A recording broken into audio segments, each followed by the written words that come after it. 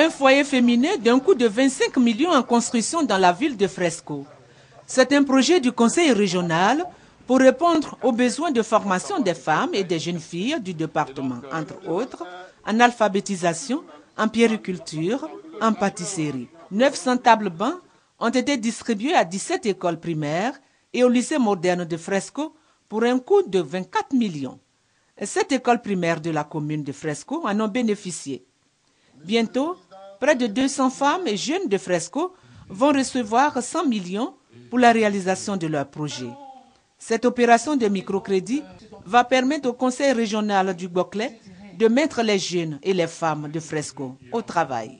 Le maire résident de Fresco se réjouit du lancement des travaux engagés par le conseil régional et invite les populations à une franche collaboration pour le développement de la région.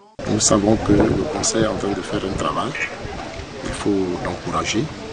Monsieur le président et le maire doivent collaborer forcément pour que tout marche, pour que tout réussisse. Il y va du travail des jeunes filles de la commune et de toute la région. Les richesses culturelles et touristiques de Fresco vont également connaître une promotion.